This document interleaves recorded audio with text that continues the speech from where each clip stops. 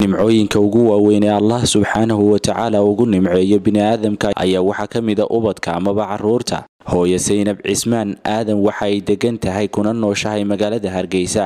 Waxaa muddo gaadhaysa laba sannadood ay la'dahay meelay jaan iyo cidhib dhigtay xamde maxamed cabdiraxmaan oo ah inanteedii.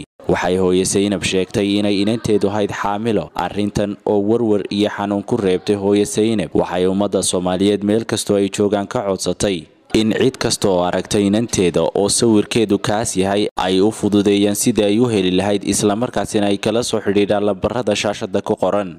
Xaafadaydii waaridba marka inantaydii ayaa la waayey inantaydii baa la waayey marka waxaa weeyaan shadhad iyo badh dhibitaantii iyo dhibitaantii waxaa watan marka dhib baa qaaba.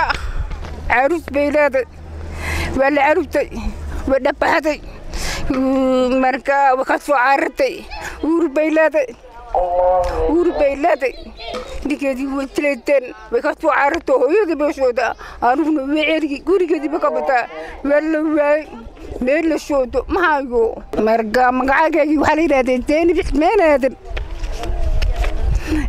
marka hooyo marka carruurta inanteedii wataa labada waa waana inanta lalaay waana inantaadi xamdaan maga xamdaan maxamed cabdiraxmaan baa waxaan lalaay muddo adu ilaa hal sanno iyo bargaadhaysa maalinta naga tagtaynaba halkii markii noogu wardamaysay inay gurigeeda tegaysaa noogu wardamaysay uur lix biloodana way lahayd. Muddo uur lix bilood ayay maqnayd. Muddo imika laba sannadooda waan laanay raq iyo raq meela ku maqan tahay. Dadweyne waxaan ku codsanaynaa sharafta leh. In meeluu noogu soo hagaajiya lambarada aan qaybinay maxay tolay muddo uur lix biloodan way lahay. Ayay lahayd gurigeeda kililka ayuu ahaa. Markaas hooyadeed oo dhegala duruurta koodantahay waayeel ah. Qof dee qof ilmihiis ka maqayna layska garanaayo.